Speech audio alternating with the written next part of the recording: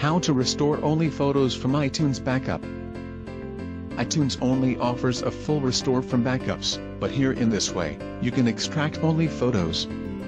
Step 1. Download PhoneRescue for iOS on computer and connect iPhone.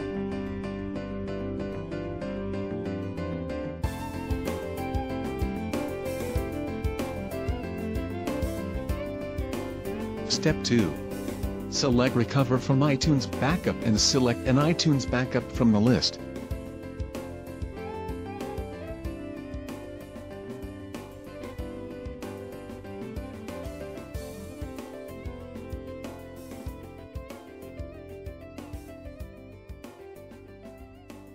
You can scan all data on backup or get only the differences between iPhone and backup. Step 3. Only check photos to scan.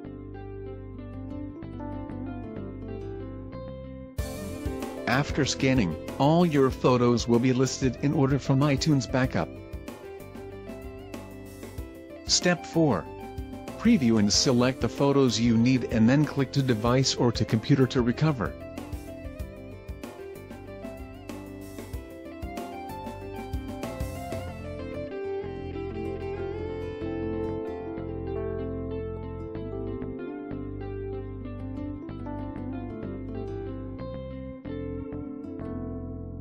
Thanks for watching.